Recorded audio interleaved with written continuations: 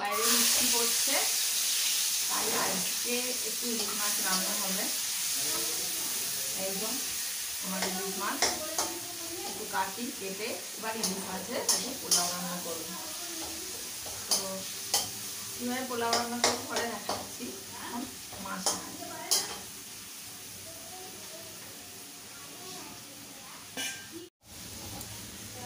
মাছটা কেটে ফেলি।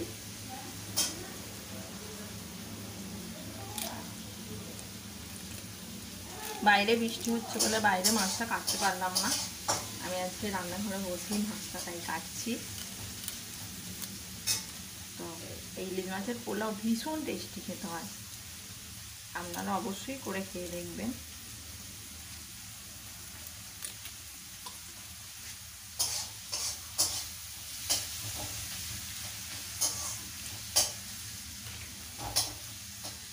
আজকে পদ্মার ইলিশ আনা হয়েছে। তো পদ্মার ইলিশ ভীষণ টেস্টি হয়, আপনারা জানেন।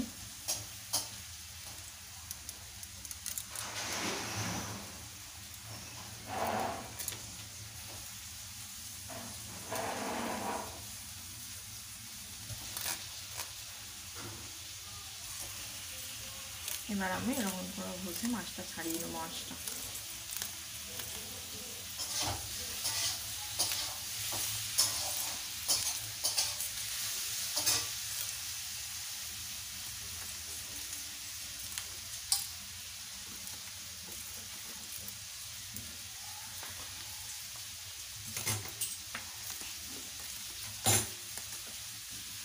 মাছ ছাড়ানো হয়ে গেছে আমার পরিষ্কার করে।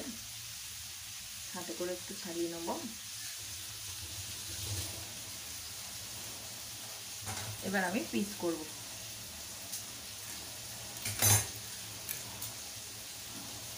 এরকম পিস করছি আমি।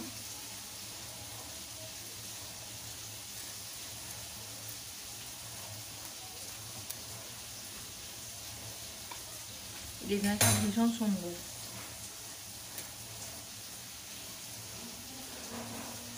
বাঙালি তো ইলিশ প্রেমী অবশ্যই। আমার মাছটায় ডিম হয়ে গেছে। মাছটায় ডিমও আছে। হালকা ডিম হয়ে গেছে।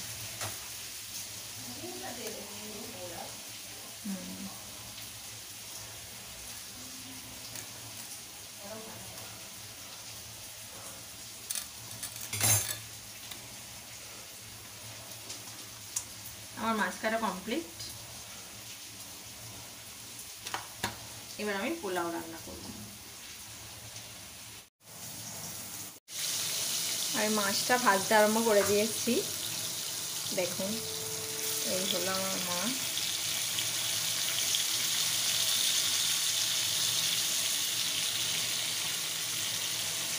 তো আজকে ইলিশ মাছের পোলাওটা দারুণ জমিয়ে খাব, বর্ষার ওয়েদার আজকে বাড়িতে সবাই আছে।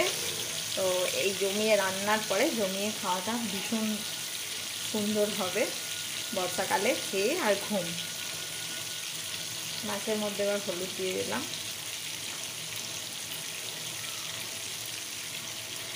আমার এই রেসিপিটা এর আগেও শেয়ার করা আছে বাট এটা আজকে আমার আজকের ব্লগ তাই আমি এটা আজকে দেখাচ্ছি।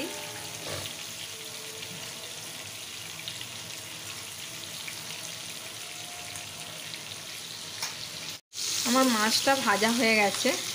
এবার মাছ ভাজাটা তুলে নিচ্ছি।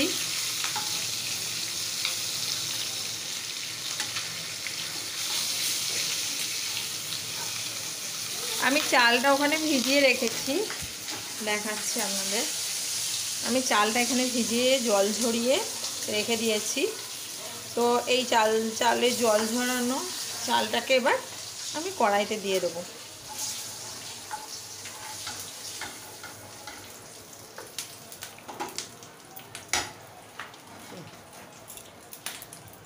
ডালচিনি এলাচ এবং লবঙ্গ। চারটে এলাচ দিয়েছি দুটো ডালচিনি দিয়েছি এবং চারটে লবঙ্গ দিয়েছি ফোড়নে।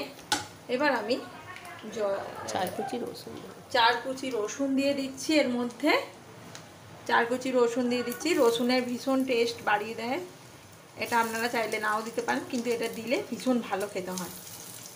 চার কুচি রসুন আমি দিয়ে দিলাম। এবার ওগুলো একটু ভাজা ভাজা হয়ে গেলে আমার জল ঝরানো চালটা দিয়ে দেবো। চালটা কিছুক্ষণ আগে ভিজিয়ে রাখতে হবে। আধ ঘণ্টা মতো চালটাকে ভিজিয়ে রাখবেন। আমি গোবিন্দভোগ চাল ইউজ করছি। তো আধ ঘণ্টা মতো ভিজিয়ে রেখে তারপর জল ঝরিয়ে নেবেন।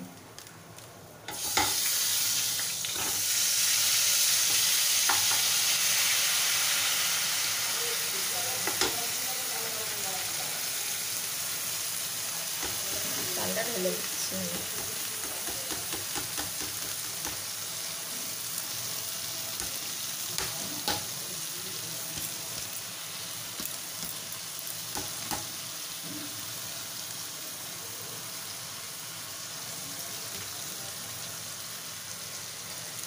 হ্যাঁ এইদিকে পড়েছিল তো এবার চালটাকে নেড়ে নেব। ভালো করে ওই ইলিশ মাছের ভাজা তেলের মধ্যেই নেড়ে নেব। এটা খেতে ভীষণ সুন্দর খেতে হয়। আপনারাও বাড়িতে ট্রাই করবেন অবশ্যই। আর আমার তো আজ বর্ষার দিনে এটা খেতে ভীষণ ভালো লাগবে।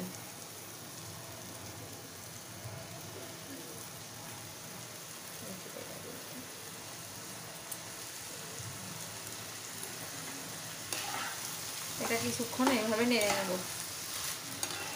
কি দেবে এটা? হুম? এটা কি দেবে নুন দেবো? চিনি দেবো। এবার এর মধ্যে একটু নুন আর চিনি দিয়ে দেবো।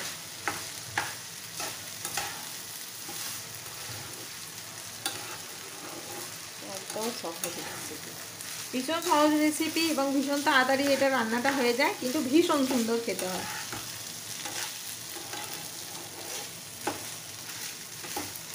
আমার একটা খুব ফেভারিট রেসিপি এটা। আপনারাও বাড়িতে করে দেখবেন, আপনারও এটা ফেভারিট হয়ে যাবে।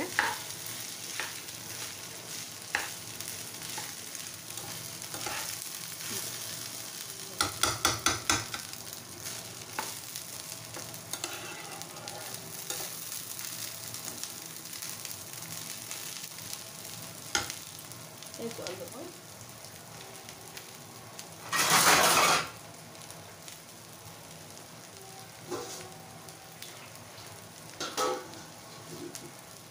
এবার এর মধ্যে আমি পরিমাণ মতো জল দিয়ে দেব।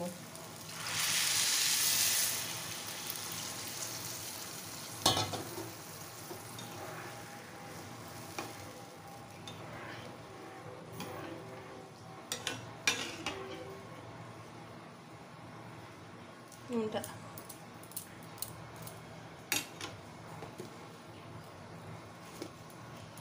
পরিমাণ মতো নুন দিয়ে দিচ্ছি, পরিমাণ মতো নুন মিষ্টি দিয়ে এটা আমি ছাপা দিয়ে দেবো।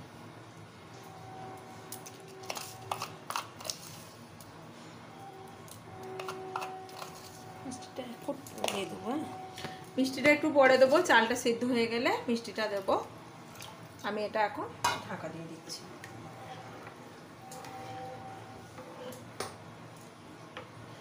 আমি এরকম চাপা দেওয়া কড়াতে করছি ননস্টিকের। যাতে এটা চালটা কীভাবে সিদ্ধ হচ্ছে সেটা আমি ভালোভাবে দেখতে পাবো এটা আপনারা চাইলে এমনি করাতেও করতে পারেন, তাহলে চাপাটা সেটা খুলে খুলে দেখতে হবে।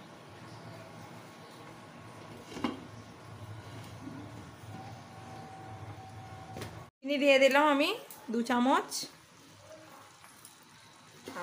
ভীষণ সুন্দর গন্ধ বেরিয়েছে একটা। এবার মাছগুলো ওর উপরে দিয়ে দেবো। মাছের টেস্টটা ওতে মাছের টেস্টটা তো ওর সঙ্গে মিশবেই, মাছের তেলটা দেওয়া আছে হ্যাঁ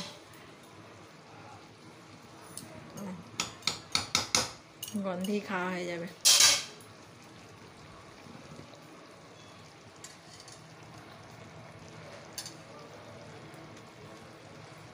ডিম সমেত মাছ, দিয়ে দিলাম মাছ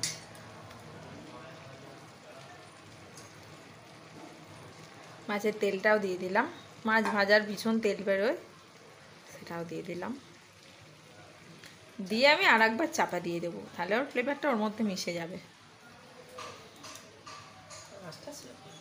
আঁচটা স্লো করে দিয়ে আমি কিছুক্ষণ পরে খুলে রেডি দেখুন আমি চাপাটা খুলে দিয়েছি আমার ইলিশ পোলাও রেডি ভীষণ সুন্দর দেখতে আর খেতে ভীষণ হয়েছে। তো আমার এখনই ইচ্ছা হচ্ছে মনে হচ্ছে যেন এক্ষুনি খেয়ে নিই। আমার ইলিশ পোলাও রান্না হয়ে গেছে। এই হলো আমার ইলিশ পোলাও। আপনারা অবশ্য খেয়ে দেখুন কীরকম হয়েছে আমার ইলিশ পোলাওটা। দেখেও বুঝতে পারছেন নিশ্চয়ই কত সুন্দর দেখতে হয়েছে। আহ, স্বাদও অসাধারণ গন্ধ অসাধারণ। আমার ভীষণ জোর খিদে পেয়ে গেছে। তাই আর ভিডিওটি আজকে এখানেই শেষ করলাম।